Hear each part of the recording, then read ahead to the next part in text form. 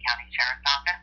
I'm unable to take your call at this time, but please leave me a message or press zero to reach someone immediately. Thank you. Hello, this message is for Pat Garrett, Washington County Sheriff.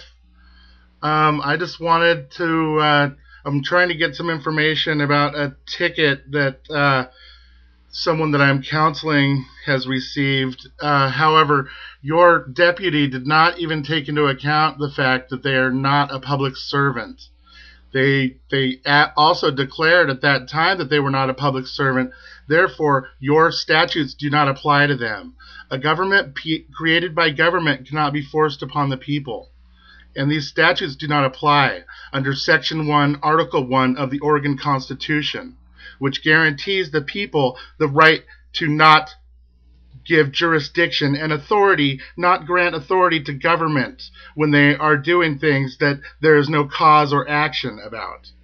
So we'll be seeing you in court, but I need to get some information about this officer. So if you could call me back at 503 840 0799. My name is Trent Goodbaudy um, I would love to uh, speak with you and see if we can't work something out. Okay, thank you very much. Goodbye.